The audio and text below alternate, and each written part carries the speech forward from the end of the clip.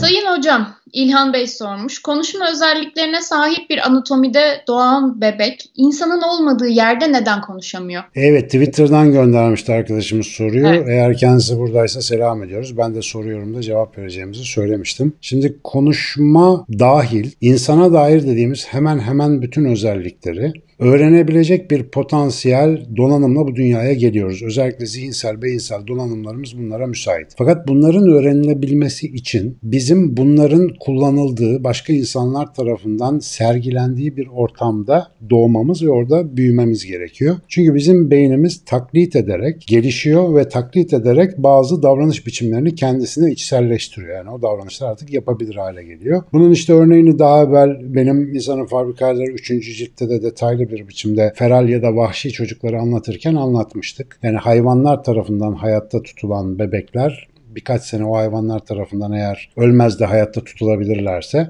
az sayıda örnekle biliyoruz ki o hayvanların davranışlarını tamamen alıp ve daha sonra kritik bir dönemden sonra 7-8 yaşından sonra insanlar tarafından bulunsalar bile özel yöntemler uygulanmasına rağmen insana dair davranışları hemen hemen hiç öğrenemiyorlar. Çünkü o kritik öğrenme döneminde neyle karşılaşırlarsa onu bir şekilde benimsiyorlar ve adeta beynin o ilk gelişimdeki hızlı patlamalı öğrenme dönemi biraz kapanıyor. Ondan sonra daha işte erişkin öğrenmesi dediğimiz bir faza geçiyor beyin. Şimdi mesela dil öğrenme konusunda da bizim beynimizde bir Noam Chomsky'nin ifadesiyle bir dil öğrenme aygıtı var. İşte Language Acquisition Device dediği bir şey var onun. E tabi böyle bir çip değil bu beynimizde ama bizim beynimizin bir özelliği. İnsan beyni doğuştan kompleks semantik anlamlar işte aforizmalar onlar bunlar teşbihler yapabilme yeteneğine sahip. Kompleks işte ses ya da işaret e, yoluyla yani bedensel işaretler yoluyla aktarıma yarayan lisanları öğrenebilme özelliğine sahip. Fakat bu lisanlar doğuştan yüklü gelmiyor. Bizim bunun için bunu konuşan birileriyle erken dönemde karşılaşmamız ve o iletişimi örnekleri üzerinden görüp öğrenmemiz lazım. Hep söylerim Yine söyleyeyim bu arada soruyorum programının sevgili sponsoru YDS Akademi'ye de buradan selam olsun. Mesela İngilizce öğrenmedeki en önemli problemlerimizden bir tanesi de hep budur ve hep bu oluyor. Biz dili hani böyle bir ders gibi öğrenmeye çalışınca olmuyor. Ancak taklit ederek öğrenebiliyoruz. Onun kullanıldığı bir ortamda mesela Hazal'dan önümüzdeki haftadan itibaren Almanca haber ve özetleri dinlemeye başlayacağız inşallah.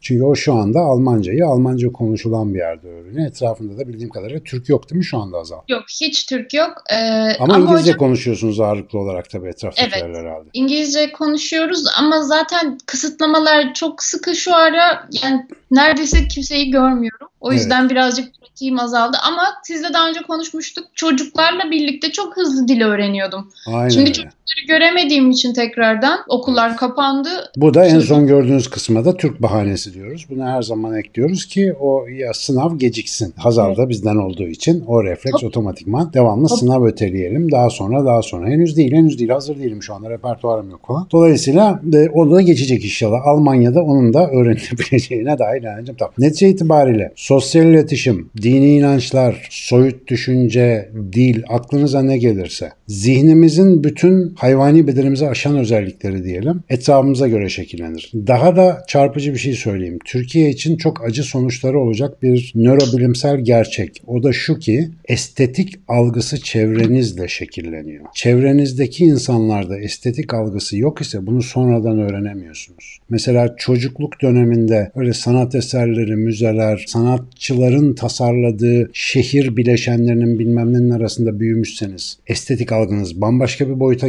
gelişiyor. Ama bunların hiçbirini görmediyseniz, bunlardan mahrum kaldıysanız, mesela hiç müzik duymamışsanız, hiç müzikalitenin taşıdığı bilgiye maruz kalmamışsanız bu durumda o yetenekler gelişmiyor. Ve maalesef şu anda bizi nereden izliyorsanız Türkiye'de İstanbul, Ankara, Kayseri, Diyarbakır, Artvin, Ağrı, Lübnan, Lüksemburg çıkın bir dışarı bakın. Baktığınız dışarı çıktığınızda içinde yaşadığınız mekanın insan yapımı, estetik içeriği eğer orada büyüdüyseniz sizi belirleyen şey olacak. Hep yaşadığımız yerdeki hakim kültür bizim neyi ne kadar algılayacağımızı belirliyor. İşte o yüzden çok erken zamanlarda sevgili eğitimciler gençlerimizin zihinsel sınırlarını aşmalarına yardımcı olmamız lazım. Çünkü Türkiye'de sadece Türkiye üzerinde konuşursak her lokal bölgede, her sınırlı alanda farklı bir kültür, farklı bir estetik algısı, bambaşka imkanlar, çok ciddi imkan eşitsizliği olan bir yerdeyiz. Ama bir taraftan da elimizin altında internet var. Bir taraftan da bu kadar iletişim var. Bunu kullanarak özellikle Türkiye gibi neden yeni sanat dallarında dünya çapında söz söyleyecek, müzayedelerde tabloları milyon liralarla satılacak bir sanatçı çıkaramıyoruz diye düşünüyorsak lütfen bu konuya bir de bu açıdan bakalım. Vasat olmazsa insan yetişmez. Siz vasat sağlarsanız, ortam sağlarsanız insandan her şey çıkar. Dolayısıyla bizim görevimiz biraz etrafımızı zenginleştirmek. Taşıma suyla da değirmen dönmez. Yakında inşallah Açık Bey'in kanalına sevgili Tansa Türk'ü konuk edeceğim ve onunla Türkiye'nin dans macerasını biraz konuşacağım. Hem bu Covid-19'da hem genel olarak. Niye mesela opera baleden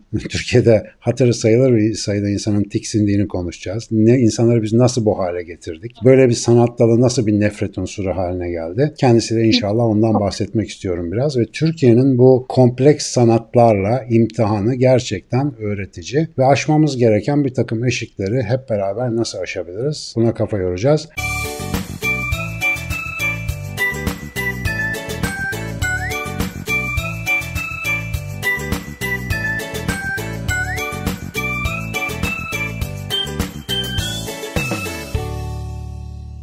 Dilden buraya geldim ama estetik de bir dil. Evet. Yani iletişim de bir dil. Bunların hepsi bir dil ve maruz kalmazsak öğrenemiyoruz. İnsanda ekipman süper ama yazılım yüklemeyince maalesef pek bir işe yaramıyor diye bir benzetmeyle bitirebilirim. Teşekkür ediyorum bu güzel soru için. Kim sormuştu demiştin? İlhan Bey evet. İlhan Ülgen. Tekrar teşekkür ediyorum bu güzel soru için. Twitter'a selam ediyoruz buradan. Çok kısa bir soru daha sorayım mı? Hadi. Bu çok genel bir soru. İnsanın aklına birçok şey gelebilir.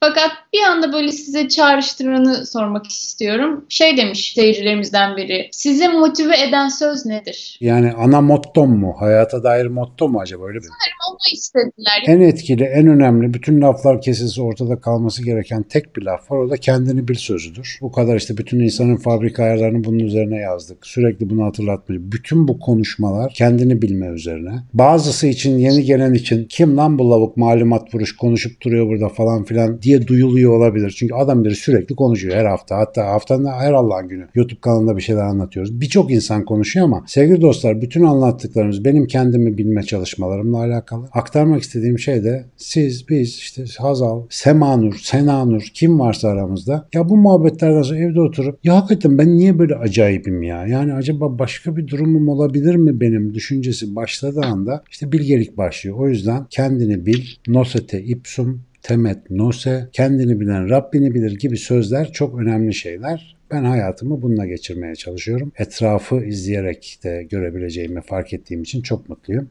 Bütün yazıp çizdiklerim onunla ilgili yani. Bütün motivasyon bu. Zaten beklediğim cevap da buydu hocam. Tam yerini buldu. En az değilsin. Gollük orta yapıyorsun.